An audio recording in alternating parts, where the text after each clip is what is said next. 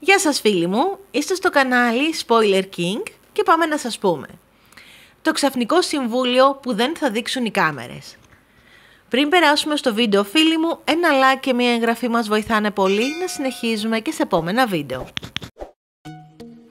Ένα αλαλούμ επικρατεί στον Άγιο Δομήνικο με τις ξαφνικές μαζικές αποχωρήσεις που έλαβαν χώρα αυτή την εβδομάδα και που καμία δεν έχουμε δει μέχρι στιγμής στους τηλεοπτικούς μας δέκτες.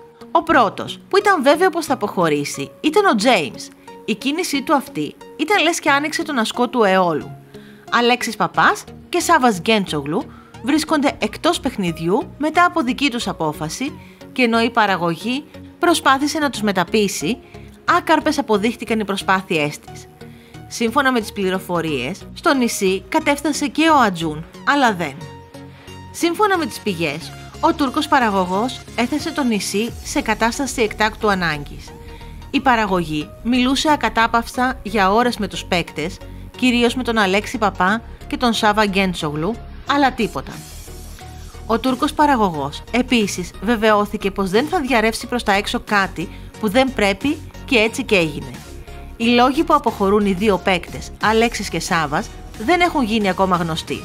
Ωστόσο, φαίνεται πως συνδέονται μεταξύ τους. Δεν γίνεται να είναι τυχαίο. Κάτι συνέβη. Όλον αυτό το πανικό που επικρατεί και το ξέρουμε 100% εννοείται φυσικά πως δεν θα τον δείξει στις κάμερες.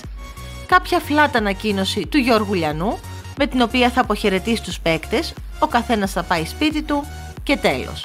Γι' αυτό και δεν έχει βγει ακόμα και το τρέιλερ.